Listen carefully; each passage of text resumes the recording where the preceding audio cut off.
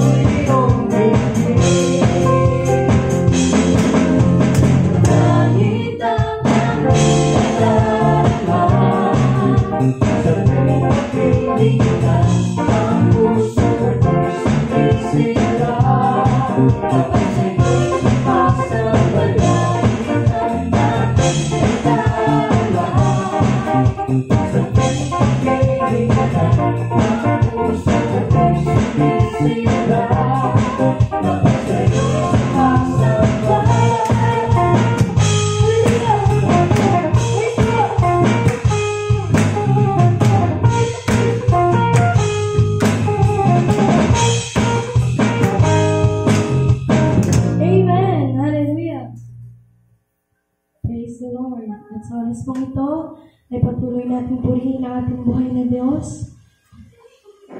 Dapat lamang na siya ay ating pasalamatan. Amen? Amen. Sapagkat siya ay napakabuti at napakadakila sa ating buhay. Amen. Kaya sa oras na ito, patuloy nating awitan na makalangat na awitin ang ating buhay na Diyos. Hayaan mo kapatid na ang awit na ito, ilagay natin sa ating puso at sa ating isipan. Na ang awit na ito ay maging handog pasasalamat sa ating buhay na Diyos. Hallelujah, Panginoon. Maraming salamat, Panginoon, sa iyong kabutihan sa aming buhay. Kulang ang pagkakataong ito